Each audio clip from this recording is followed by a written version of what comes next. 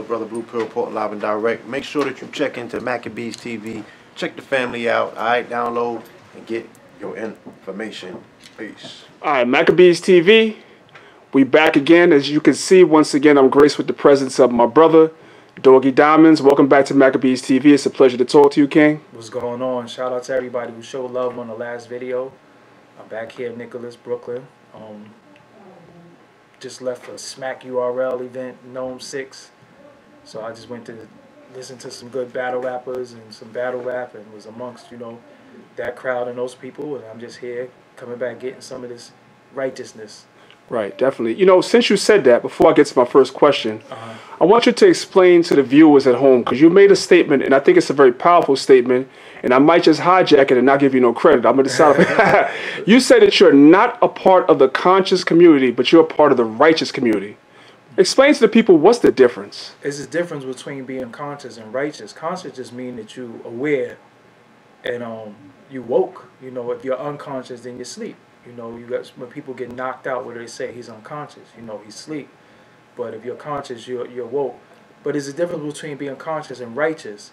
Righteous is knowing right from wrong and always doing what's good. And by definition, you know, um, righteous has a lot to do with morals. So you have dudes who say I'm conscious, conscious. They're aware of the foul shit they be doing.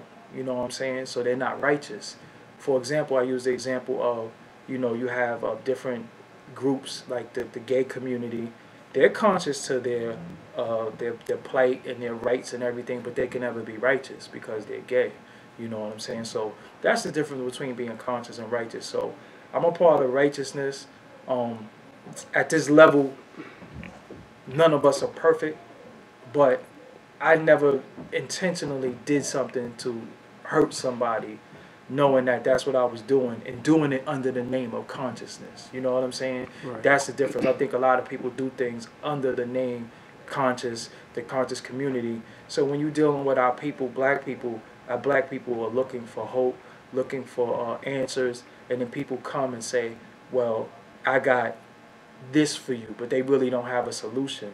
And they do it under consciousness, and it's not done from a righteous standpoint. You know, if you know you're doing something with somebody and you can't provide them the way, um, why take their money? You know what I'm saying? Why why giving people hope? And one thing that's always for sale with black people is hope.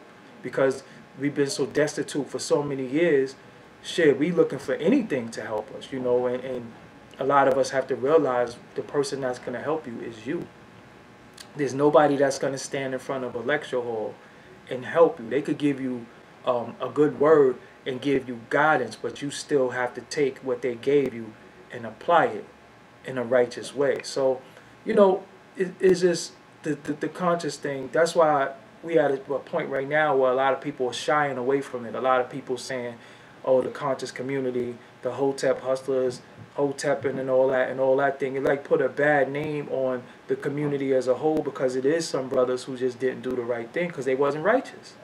You know what I'm saying? They wasn't righteous. So per definition, look up conscious and look up righteous and you decide what you are. You know, because conscious just means that you're aware. But if you're aware that you foul, that's not living righteous, you know. No doubt, no doubt. Well, listen, I know that you both in the world of the hip hop and you uh-huh. also in the world of the so-called conscious or righteous community. Uh-huh. But we're going to stick with the righteous slash conscious community just for a second. Okay. What do you think is missing? Like, if you were to give some advice as to the state of the conscious community right now and what direction that you'd like to see it go, that it can actually grow and attract more people and widen our circle, where maybe even some more entertainers uh-huh. might be willing to come into it. What advice would you give? Um, a lot of people got to show and prove. You know, that's the biggest thing. Where's your works to, to support your words? I see a lot of words.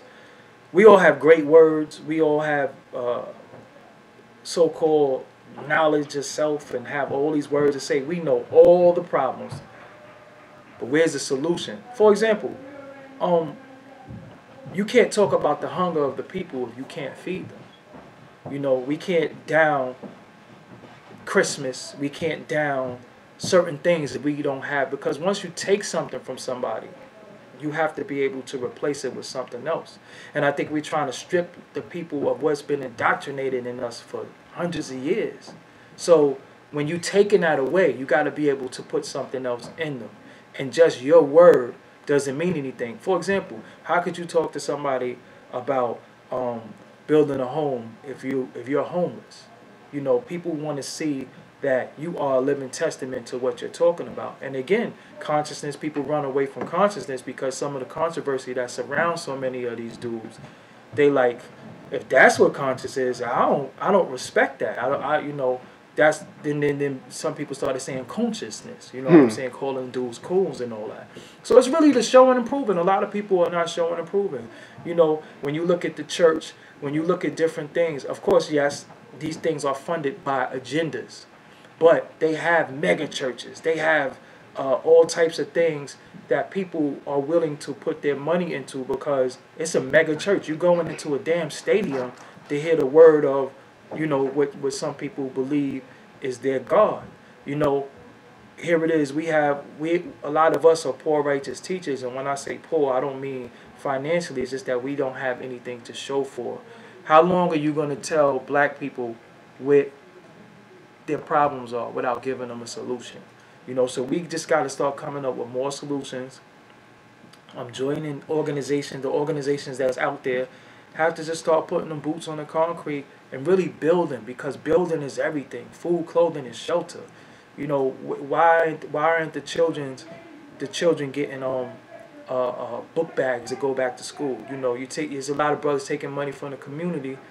What are you doing for the children? You know, why why aren't they getting book back? Why isn't it an after school program? You know, um, my cousin started an organization called Party. Parents actively re actively reclaiming their youth, and that's a youth group where he taking the children on trips, showing them a little about their history and heritage. You know, because no matter what you subscribe to, your ideology, we are Hebrews, we're Moors, we're nation, we're all of those things. We're everything, you know, because all of that is ours anyway it's just a lot of times that the, the, the, white man took a hold of a lot of things and tampered with it and then try to say, well, you're different from him because of this, that, and the third. We all under one roof. You know what I'm saying? We all need to be under one roof because at the end of the day, our fighting, our infighting, our bickering is taken away from the people who need us. You know, so it's almost like when you see two parents fight, how do you choose between your mother and father? So that's what's happening with, with people. People are just saying, yo, I like him and I like him. I don't know who to choose. So now everything is becoming a popularity contest. Because when you speak out against certain people, depending on his fan base, is whether people come at you. But people are not even listening to the words that you're saying. They're just saying, oh, you went against the homie. Like this, this shit is almost like some rap. Jay-Z and Nas stuff, you know what I'm saying? And it becomes a favorite opposed to listening to the key points that people made. Now, I'm not here, and I want people to know this. I'm not here to critique people or put people down. But when you say something against what we all fighting for and what we all stand for, and you're not giving any solutions to that, then I'm not on nobody dick. You know what I'm saying? And I and I anybody who know me, I embrace the Hebrews, the Moors, I embrace everybody. I've embraced everybody. I've never singled anybody out in this so-called conscious community. But when you start stepping out of it and you think you looking through your glasses at people now, it's like, yo, hold up, hold up, hold up. That ain't gonna work. So I think the people are seeing it. I think the people are tired. I think the people are tired of marching. They're tired of, you know, uh, getting taught things. Everybody just wants solutions. And I think the solution to a lot of that is we have to start building for the people. We build verbally, but what institutions do we have? We don't have no institutions. That's what I was talking about on um, Saneter TV. I was talking about we need a building for black news. You understand what I'm saying? So we could have Maccabees TV. We could have all these in one building. Yo, I got a slot from 7 to 10. A word? And then such and such come on it. But this is under one roof, under one building where people could come and they know you might not subscribe to the um to, to, to the Hebrew Israelite doctrine. But right after that, the Moorish Brothers is coming on, or the Nation got a time slot, or the the um the Pan Africanists got a time slot. It's still all black news with black people. So, the, depending on what you want, and you might want all of it. You know what I'm saying? But we we have to start seeing our people on these news screens speaking about things that deal with us. That was my critique of dudes too. You know what I'm saying? You don't sit before these white people and not talk about the plight of black people. You sitting there, you know. Go ahead. Back to you, doggy. Go ahead. My next question to you was this, right? Um, you know, I'm an Israelite, Uh-huh. but I always had love for Khalid Muhammad. I met him. Yes, yes, I yes. met him. And he had a lot of love for the That's the Hebrews as OG, well. He had a lot of love for the Israelites as well. And I noticed that a lot of troubled rappers, Uh huh. regardless of gangbangers, different things, Mm-hmm. even though they were into a certain way of life, they were attracted to a certain level of consciousness because of the way he carried himself. He was always somebody they can go and they could talk to Uh-huh. that showed them respect and they respected him mutually. Nowadays, you have rappers that are going through problems, crying out, like I'm gonna use a name, like DMX. Okay. He's going through a lot of problems. Yes. And he's turned into the church. When you have so many conscious brothers, Israelite, more, so forth and so on, and these rappers will not turn to the conscious community. Do you think, based on your conversations you may have had with people, do you think that it's the same things that you're seeing in the conscious community is what they're seeing, which is why a lot of people will not come to the conscious? It's two things. It could be that, but I would I would also attribute it to um that church is in, just in our that shit done got beat in our heads since slavery. You know what I'm saying? Like it literally physically beat into our bodies. So we all sometimes are at our lowest self. And shit, if it's if if if, if I believe that this head of lettuce over here gave me good uh, luck, I would worship a head of lettuce. That's what a lot of people are doing. So they don't really know. We always attribute everything to everything else. Sometimes you have to recognize and realize your greatness. If you believe in your God, your God instilled greatness in you. Start celebrating yourself. Stop always giving the glory to somebody else. Because if it, if you believe in God and God gave you this greatness, you could thank Him for the greatness, but you got to shine because you got to stop disappointing what was given to you know was given to you from God. It's like a gift when people say this is a gift from God. You could give God the glory, but you better use that gift and and and prosper from it. You know, so a lot of times, you know, when we, we when we fall on hard times, because God is used and abused. See, when people are doing good, some people don't give the glory to God. They got their nose in the air, you know, this, that, and the third. Yeah, yeah, I'm this, that, and the third. But the minute something happen, they say, God, you know, it's almost like a person who drinks. When they throwing up over the toilet, like, God, please, I'll never drink again. Please, if you get me to stop throwing up. And then the very next time they stop throwing up, Right. they start drinking again Yeah, and forget about that. You know what I'm saying? So um the church has just been indoctrinated in us as a people. I'm not necessarily against the church 100% because the church at one point was the most revolutionary thing in the neighborhoods because the church you know martin luther king is a reverend you know what i'm saying certain people was on that front line and whether you agree with how he his methods he still was on the front line getting his face spit in getting um beat up getting arrested getting water hosed you know so anybody that has that courage to go in the fight knowing that you don't even have no wins and still showing them, them folks we still gonna fight. As for me, I was more of a Malcolm X person. I believe if you put your hand on me, you're gonna get you. But in in the times that we in, you, we can't win. But Khalid Muhammad, the Dr. Khalid Muhammad, the the attraction and allure to him was he just was fiery, and you felt the fearlessness. You felt the alpha male. You felt that, you know, if I go into war with him, we gonna win. The other dudes be so um passive. You know, so it's doctor, and then- and then you know, in our community, brothers is mad and they tired. So when you got somebody, because it's different between organization and mobilization. I learned this from um, Kwame Ture. You know, um, organization is us coming together. We could be mobilized through anger, where we say, "Yo, we going to fuck them up." but if we don't do it in an organized way, we going to jail. So you need mobilization, but you need organization with that. So Dr. Khalid was able to provide both. He was able to mobilize brothers through the minister Farrakhan, of course, because we got to give him, you know, the, the credit for that. But he, he was able to um, mobilize people, but then organize them. Remember, he was the um, leader of the FOI. You know what I'm saying? One of the, one of the, that's the black police right there. Yes, you know what I'm saying? So um, I, I miss Dr. Khaled. I miss the, the fire. Um, I, I miss the words, but at the same time, a lot of the, of our ancestors left us instructions. If we just follow the instructions that some of the ancestors left us, we gonna be okay. But what's happening now is people disregarding what the ancestors said and saying, "My way is the way." But then ripping off the ancestors' ideologies and rehashing it and rewriting it and flipping it and bouncing it, not sounding right, first of all. You know what I'm saying? That's what happened. But I like to give praise to the people that came before me. No know? doubt, no doubt. Last question because Joel Benjamin five two eight wants to take over. So nah, this nah, my last, nah, nah, my last nah, question. it's all good. It, ain't no last question. You see how you put me? I hope you edit that.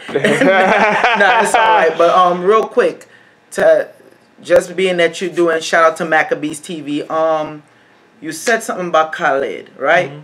And uh, different people like Martin Luther King.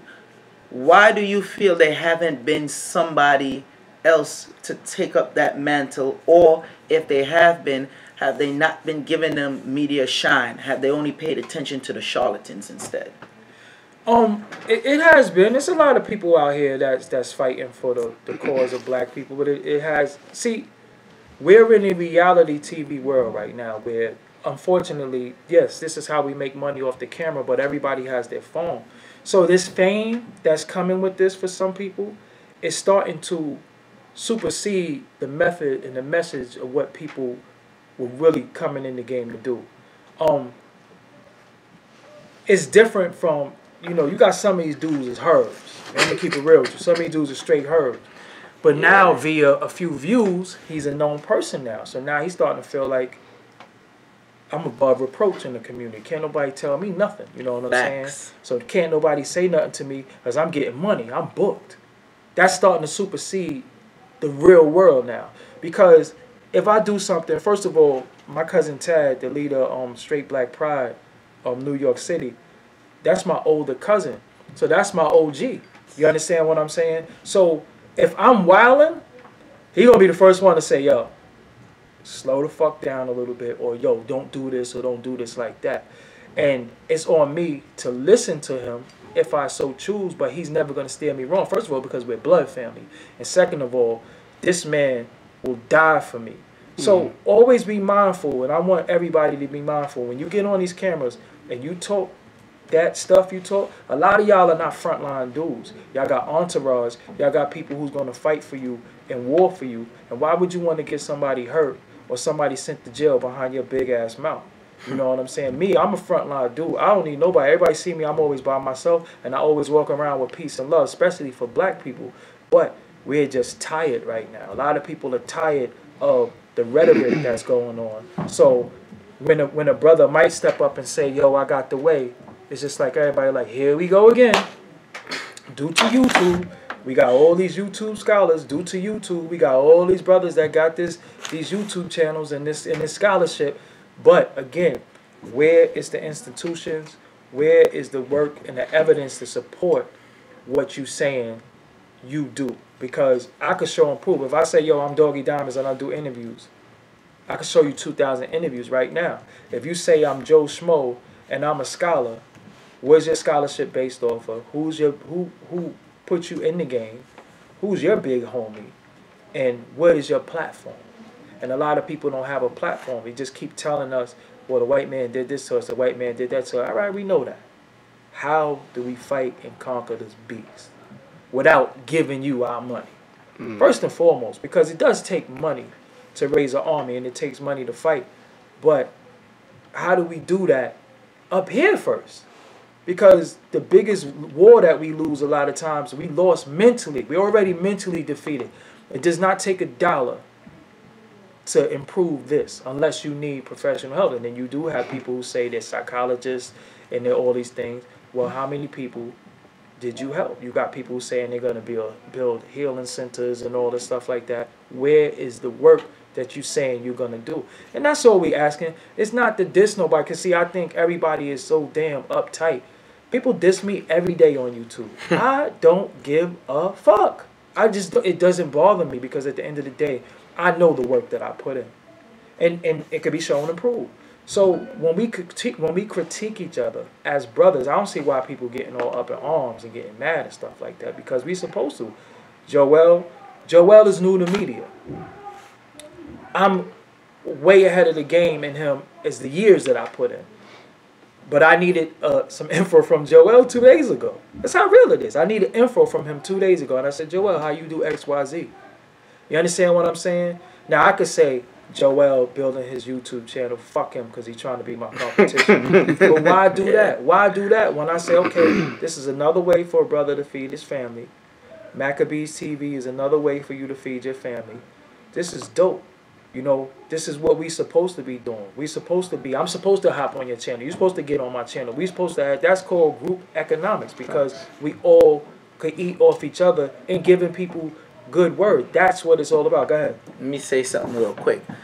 If you notice, a lot of the Caucasian, Arab, Asian, all of them, when you look on YouTube, they have something where it's called merging or collaboration buddy. All right, and they collaborate, and a lot of people don't realize that's how they build a page. Perfect example of that. I, I know you know about Peanut Live two and five. Definitely, definitely.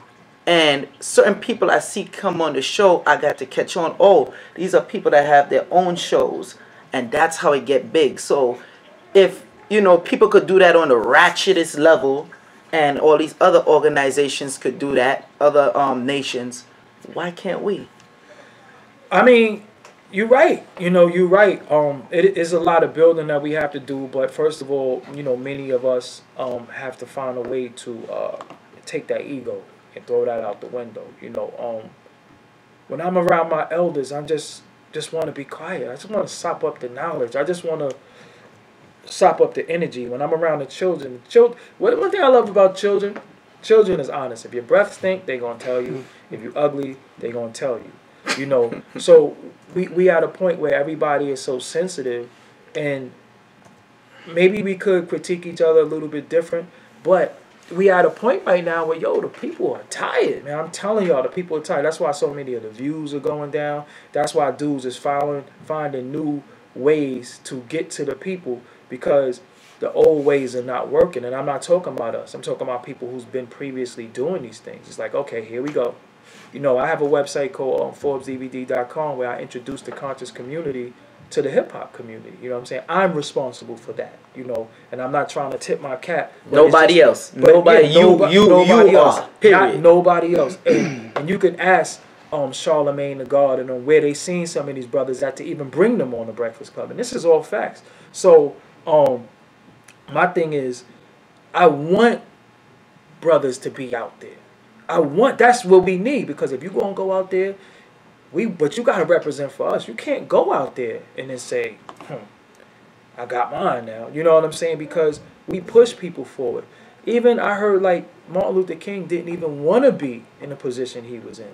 You know, um, Reverend Abernathy and some of them was like, "Yo, you doing this?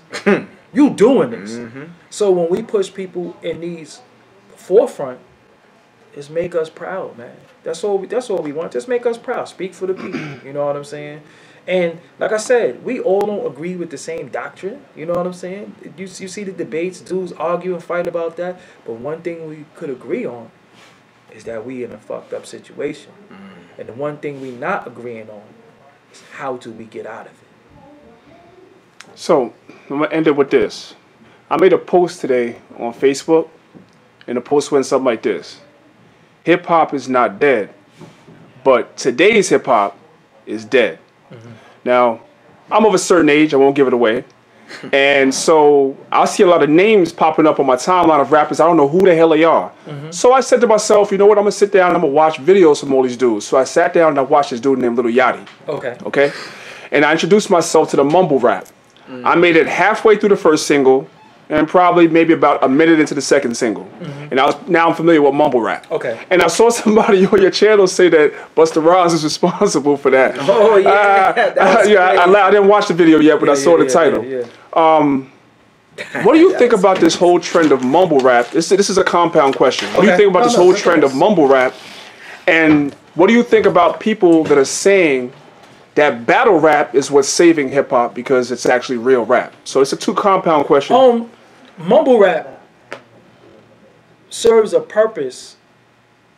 And let's look at it like this. there's bad food, there's bad clothes, there's bad cars, there's bad homes, there's bad I mean everything has something bad in it. But when you give it attention, when you subscribe to it, you're actually helping it. I tell people all the time, I don't listen to Little Yachty. I don't listen to. I don't listen to it. So why do I care? I'm not gonna sit there because when you did something, you actually empower it. Right. If you see a Little Yachty video and a new Nas video or or Common or Kendrick or or J Cole, why did you click Yachty video to tell him how much you hate him? When you could have clicked any one of these other brothers' video and told them how much you love them and appreciate them. What did you give all your power to? So I blame the people. Mumble rap wouldn't exist because obviously somebody like it. Now I know that mumble rap and some of these things uh, helps the agenda that's being pushed on our people. But we are the people who have to accept it. Nobody could force anything down our throat. We don't have to digest it. Now you do have something called repetition that they do on the radio. Turn the radio off. You got podcasts. You got Doggy Diamonds No Filter podcast no you can doubt. listen to. You have so many things that you could listen to. You, we live in a, a pull world. What I mean is, at one point they had to push things on you, and you ain't had no choice. You you the, when you had to wait for your song to come on the radio to hear your favorite song. You had to wait for your favorite TV program to come on for you to see your favorite TV program. Now, if you want to, you could pull it. You could pull whatever song you want whenever you want to hear that. Right now, if you want to hear DMX slipping, you can hear that right this minute. If you want to watch, uh, what's a good show? Uh, The Wire. You could watch that right this minute. So why are you accepting things that you don't want and you don't have to? Just deal with what you want. You know what I'm saying? Just deal with what you want. And that's the problem. Now, as for battle rap, battle rap um, is a culture that's like, it's kind of founded off hip hop, the bragging and boasting part of it. So sometimes battle rap go a little far, but they be saying crazy shit. You know, I don't know if I could have somebody stand in my face and tell me they going you know, do this to my mother and her butt and all that. You know, we might like get Arsenal. violent. Yeah, Arsenal was disrespectful tonight. Yeah. But he lost to Brizz Rawsteen tonight. Did he? Yeah. Wow. I think that's a 3 0. You know what I'm saying? It just is what it is. I was in the building for that. Shout out to Arsenal legend, but you lost, bro. Um, but on battle rap, it's a culture that could die too. You know, because um, everything has to evolve. Every culture, you know, and even you know the the so-called conscious community is a culture that can die because you have people with iced out ankhs. You have people who's getting information when it's cool because it becomes a fad for everybody to say, yo, I'm right, I'm right. But when it come down to say, yo, who ready to ride? Everybody like, whoa, whoa, whoa, whoa. We was just, we was just talking. You know what I'm saying? We was, we, we, we ride. What do you mean ride? No, no, we not doing that. You know what I'm saying? We gotta pray on it. You know what I'm saying? And like I said, even within prayer, you pray for the strength to lace these boots to go out here and get busy, not to for something to happen.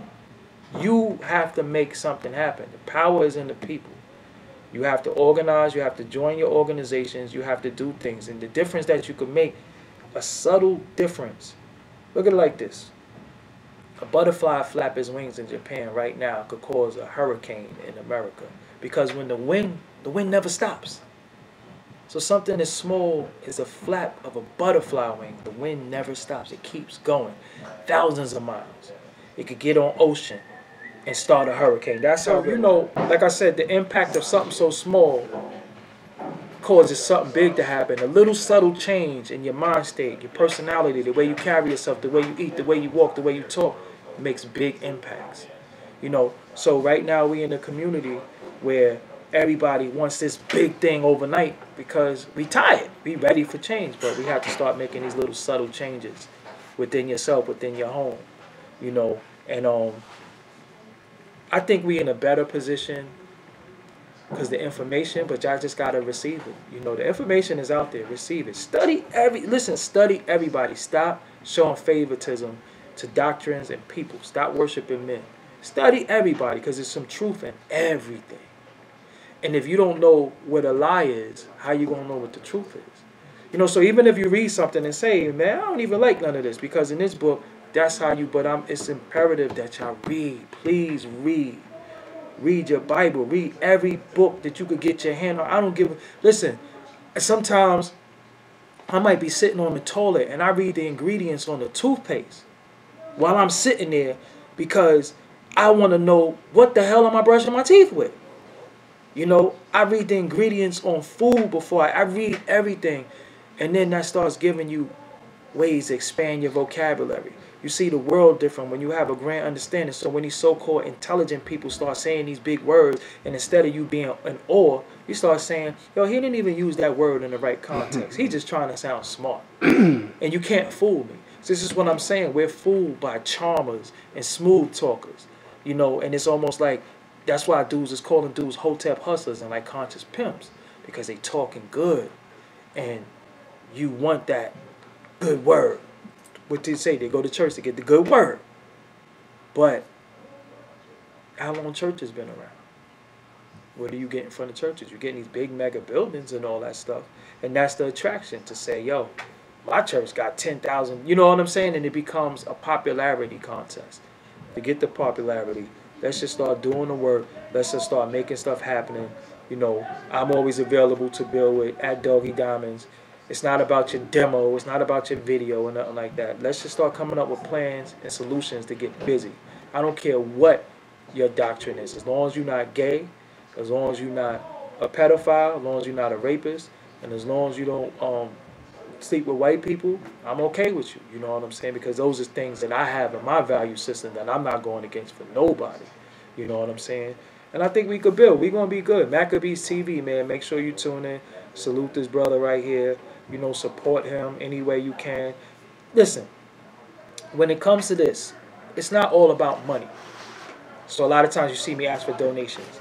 The biggest thing you can do to support this brother is like the video and share it. Just share it. If you like what I'm saying right here, go on your Facebook, go on your Twitter, and say, yo, check out what Doggie Diamonds was saying. I like what he said at the three minute mark. I like what he said at such and such. I could apply that. Everything that I say, you might not agree with. It might not apply to your life.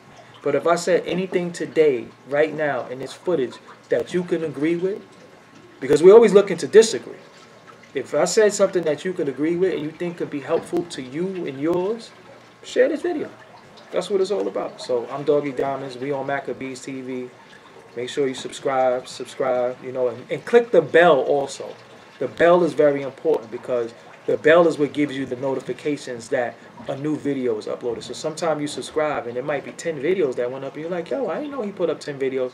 You got to put on the notification. So that's what it is. Thank y'all for having me. Peace. Real talk from Doggie Diamonds. We appreciate you, King. And we'll see you soon again, man. Peace. Doggie Diamonds.